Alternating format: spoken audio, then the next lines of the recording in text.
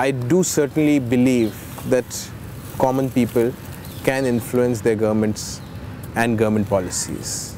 However, it's, it's a uphill task and it does need strategic advocacy. It needs involvement of huge number of people. It means a lot of hard work in terms of mobilizing people.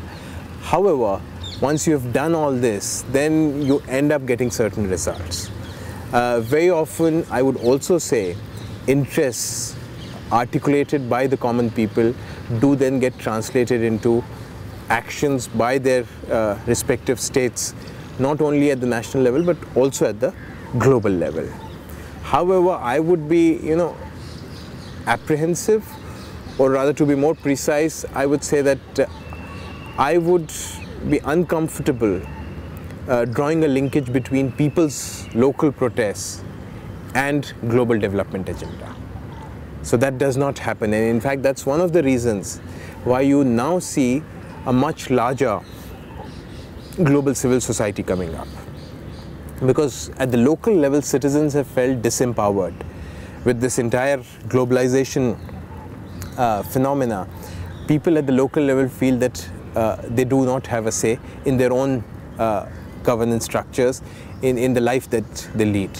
And therefore, increasingly civil society, which, which is uh, often a, a, a, vehicle for uh, people's protest, is now building alliances which go beyond the national boundaries. So examples like, say, for Greenpeace, uh, uh, Greenpeace it's just run a very, very successful uh, campaign. I'm sure you, you're aware of it against the, uh, the BT, uh, Brinjal, yeah.